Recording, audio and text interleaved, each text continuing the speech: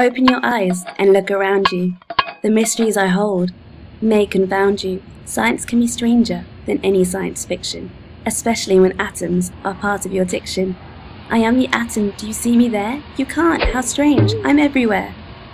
I make up the world, all you touch, smell, and see. I'm small but mighty, and all things are made of me. But why do I matter?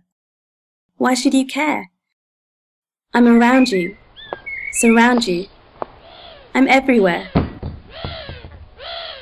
You use me, you need me, in all that you do. In fact, I'm actually what makes up you. I am the atom, I am indivisible.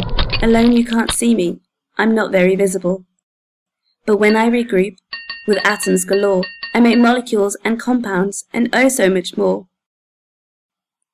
So join me through this chapter and learn about me. The basis of everything is what you will see.